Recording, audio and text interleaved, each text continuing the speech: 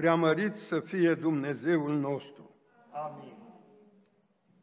Frați și surori în Domnul Isus,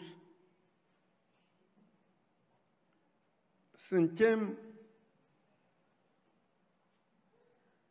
cum zicea cuvântul Sfânt, acum strângeți rândurile că suntem împresurați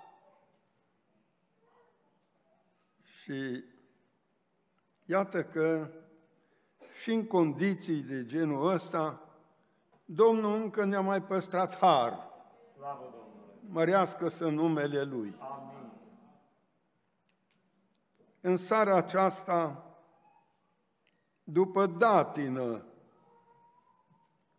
să sărbătorește, deci, ajunul nașterii Domnului Isus, popular numit Crăciun.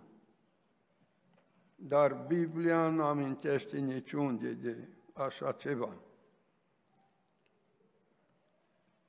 Crăciun, ca Santa Claus sau ca alte personaje mistice, idolatrice, care au luat totdeauna locul personajelor sfinte biblice, sau că ele au stăpânit cu mii de ani înainte și acum când a venit credința și Evanghelia care aduce lumină,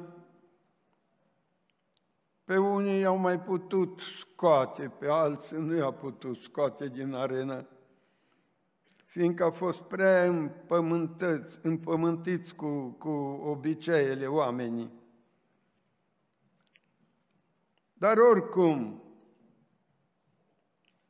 pentru cei care, de exemplu, nu știe nicio altă versiune sau poveste, Crăciun rămâne ca ceva sfânt pentru ei.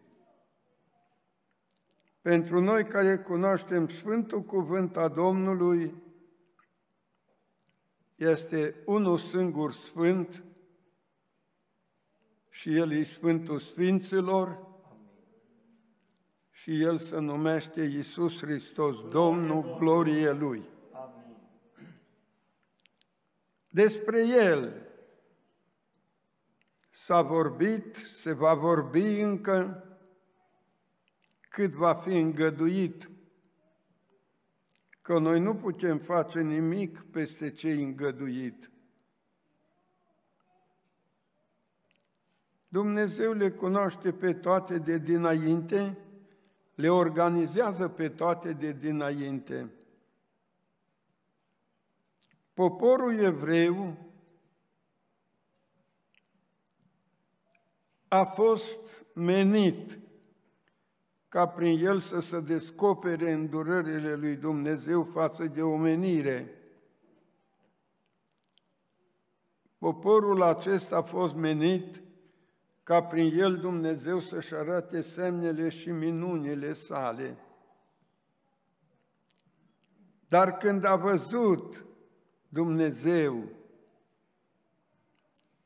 că toată credința lor e o credință de datină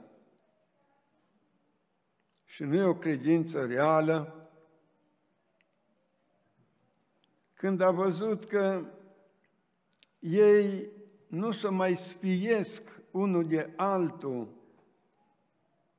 și nu-i mai mustră inima pentru păcatele lor, atunci Dumnezeu a început El să-i mustre.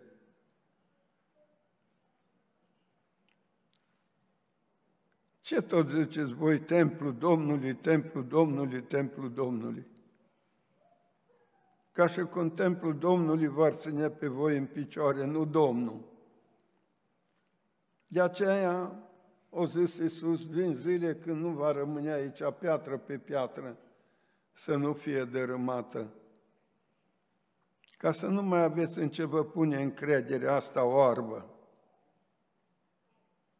Dar acum când s-a mulțit pe pământ bisericile care vestesc pe Isus cu adevărat, dar cu toată vestirea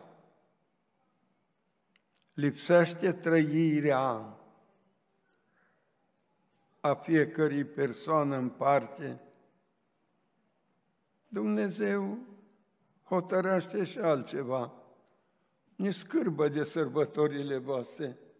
Vă adunați, faceți așa frumoase fasturi, cu cântece, cu rugăciuni, cu, ai Doamne, dar sub cămașa voastră știți voi bine ce purtați fiecare.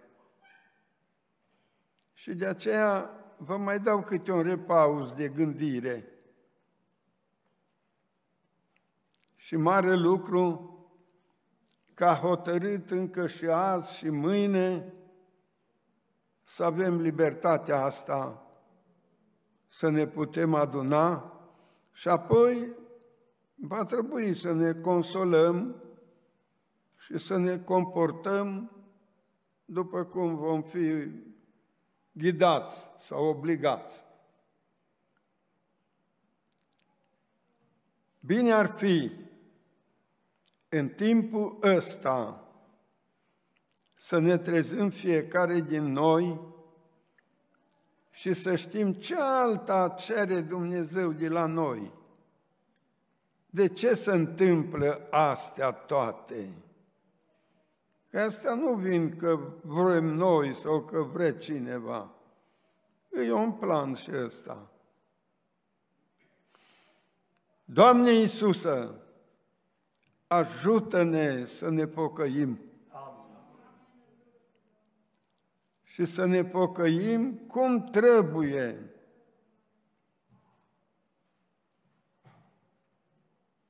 Mai puțin umblu prin oraș eu, mai mult numai la magazine acolo lângă mine, da? E destul ca să vezi și acolo câte pe cineva dintre ai noștri, cum n-ai vrea să-l vezi.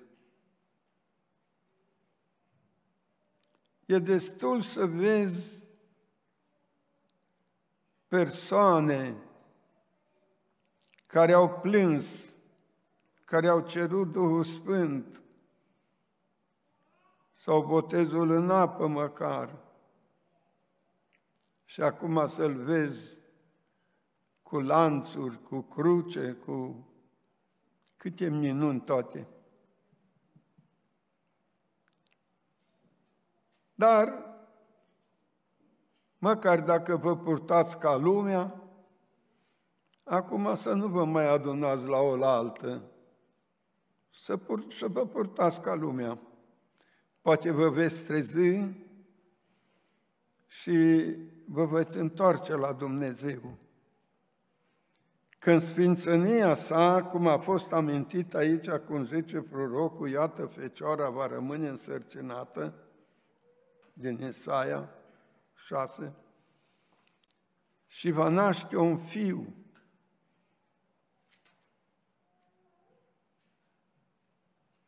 Iată dar că a sosit vremea și noi sărbătorim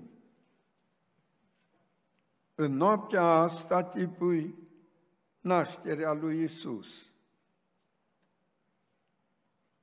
Cât e de departe în timp de realitate, când a fost, în ce dată a fost, asta nu știm fiindcă sărbătorile s-au așezat foarte târziu și oamenii n-au fost interesați să pună punctul pe ei exact atunci s-a întâmplat. Că Dumnezeu n-a îngăduit să se cunoască asta.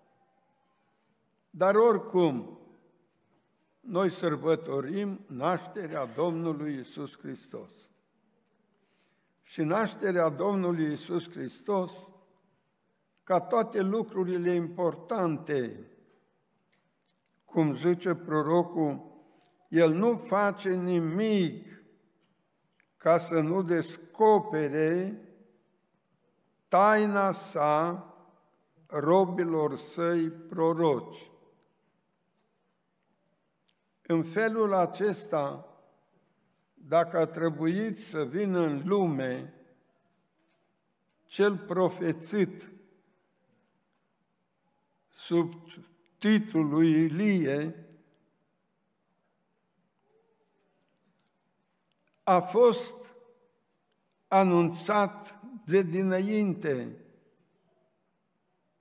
tatălui Ioan Botezătorul Zaharia, care era un mare preot la rândul cetei lui și el avea menirea în data aceea să intre în Sfânta Sfintelor, să tămâieze.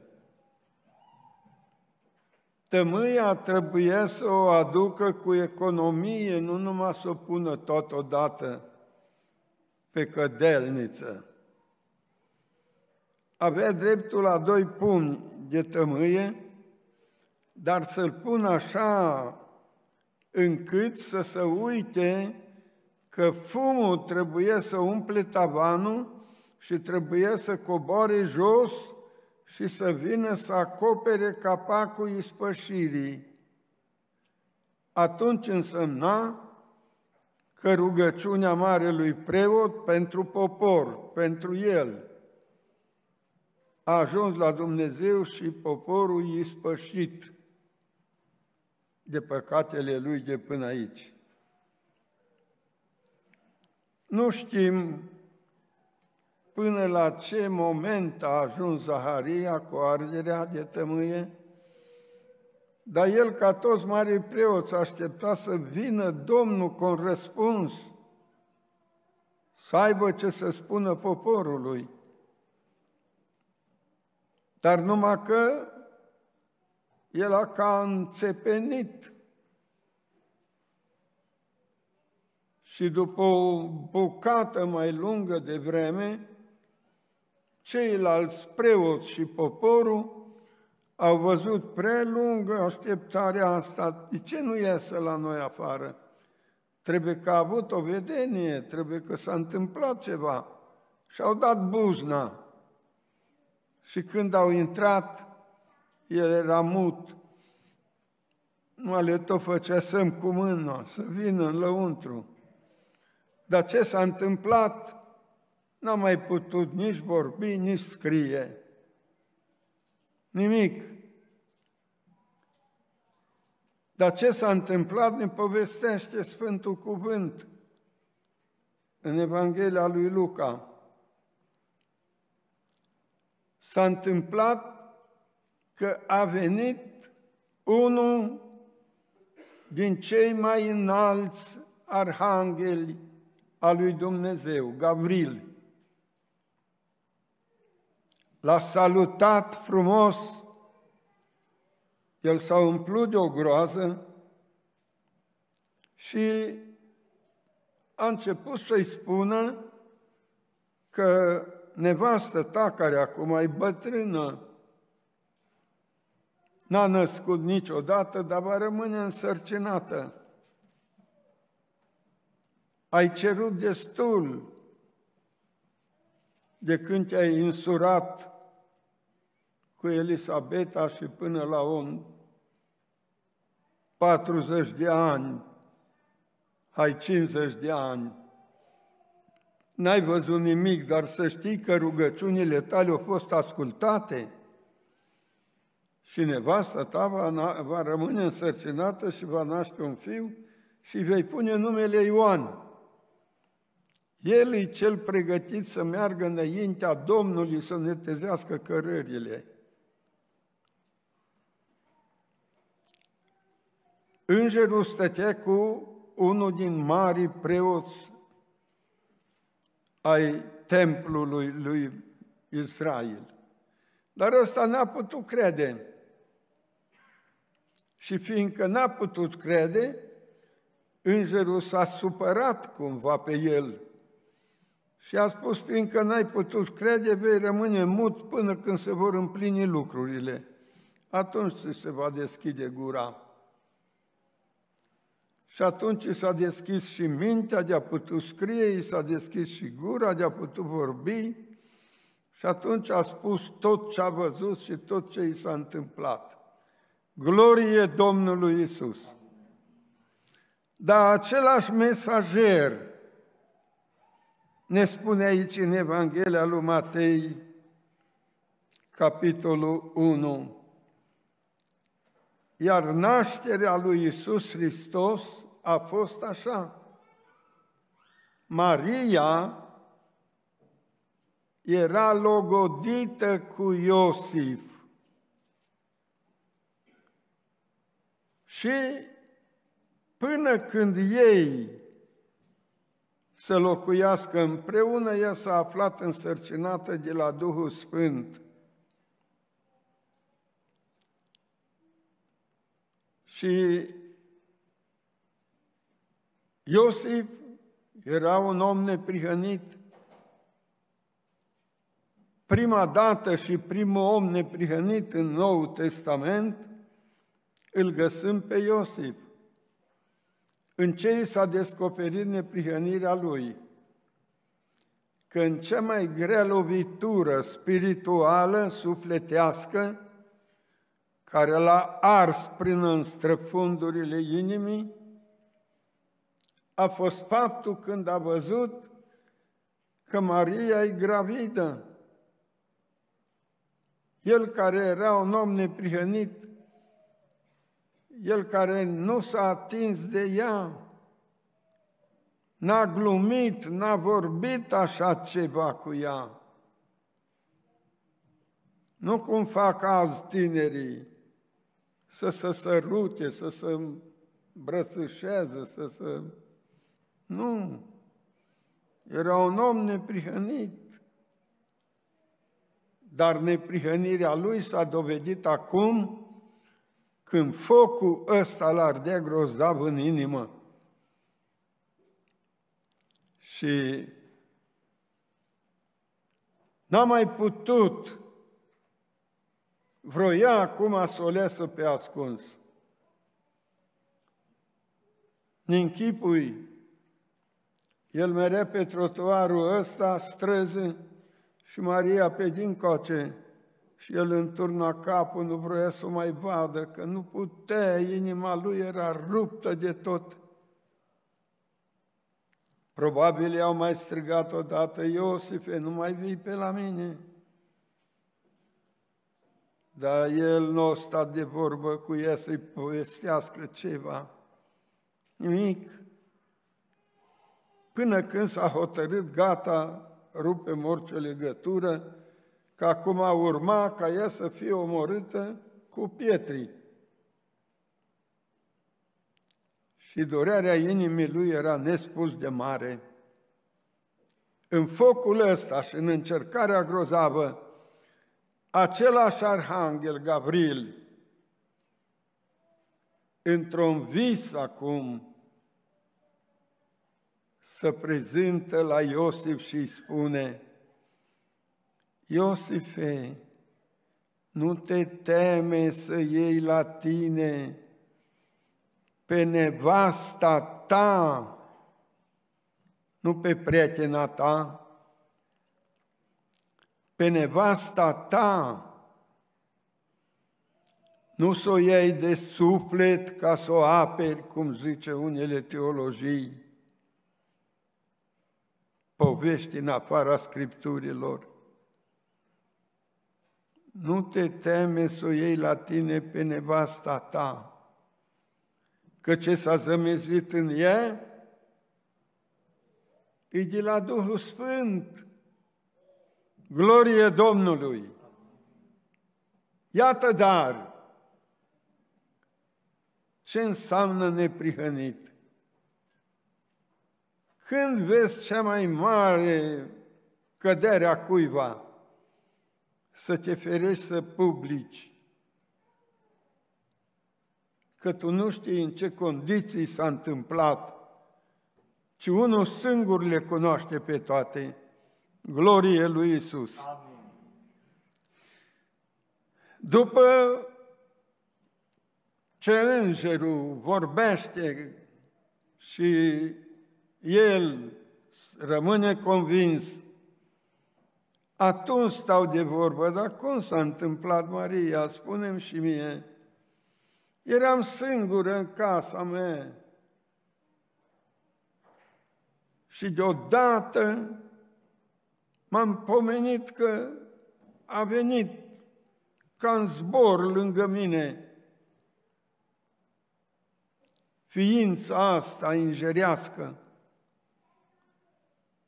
Și m-am speriat. Dar a zis, nu te teme, Marie, eu vin să-ți aduc o veste bună. Vei rămâne însărcinată și vei naște un fiu și vei pune numele Isus. Glorie Domnului! Dar ea nu s-a speriat așa încât să nu vorbească cu îngerul și nu i-a căzut tot ce a spus îngerul ca basme, cum a gândit marele preot când același înger i-a spus de nașterea lui Ioan. Ci ea a pus doar întrebare, dar cum se va face asta? fiindcă eu nu știu de bărbat.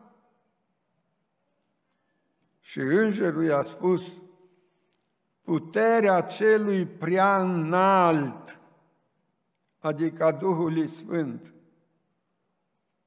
te va prea umbri, de aceea Sfântul care se va naște din tine va fi chemat Fiul lui Dumnezeu. Glorie Domnului Isus! În felul acesta, deci, i-a povestit și lui și atunci el nu i-a mai fost frică și a luat la el acasă pe nevasta sa. Dar n-a cunoscut-o până după ce ea a născut un fiu până după ce i s-au împlinit zilele curăției ei și apoi a cunoscut-o, a trăit ca soț și soție și Dumnezeu a binecuvântat familia cu încă alți copii, băieți și fete. Mărească să numele Domnului. Scumpii mei, noi acum suntem doar într-o ceremonie, să zic așa, în care ne aducem aminte de cele întâmplate. Dar oare pot crede toți oamenii cele întâmplate? Eu am stat de vorbă cu mii de oameni și foarte puțini pot să creadă ce scrie Biblia. Iar alții răstâlmăcesc Scripturile. Unii cred că Dumnezeu, dacă citești din Biblie așa, îi diminuezi personalitatea și atunci ei au schimbat Biblia în folosul lor. Alții Cred că trebuie Dumnezeu să fie așa de sfânt încât să nu se apropie de oameni, de păcătoși. Dar Dumnezeu e Sfântul Sfinților. Cu toate acestea, e Tatăl nostru. Cu toate acestea, îi Cel ce ne socotește pe noi sfinți. Cu toate acestea, e Cel care s-a gândit la noi. Și nefiind alt chip, altă soluție, în cele din urmă a trimis pe unicul său fiu, drept preț de răscumpărare din păcatele noastre. Și astfel Iisus Hristos venit în lumea noastră a plătit prețul de plin pentru toate păcatele omenirii. Pentru toate păcatele, de la Adam și până la ultimul care va mai, se va mai naște pe pământ, toate aceste păcate au fost plătite prin jertfa lui Isus Hristos, Domnul. Glorie Lui! Suntem fericiți că avem ocazia și azi și mâine să stăm înaintea Domnului în locul de rugăciune pe care Dumnezeu ne-a ajutat de l-am construit și cu atâta bucurie când am pus aici temelia și cu atâta bucurie de zeci de ori când am văzut casa asta arhiplină, cu atâta bucurie când rugăciunile se înălțau de aici către ceruri și coborea Duhul Sfânt câte cu un răspuns prin proroci, cu atâta bucurie când am văzut că Domnul a vindecat pe câte un bolnav. Mare lucru! Glorie Domnului! Eu îmi închei vorbirea și zic tuturor ca Domnul să dea sănătate, har, pace și fericire în fiecare casă. Amin.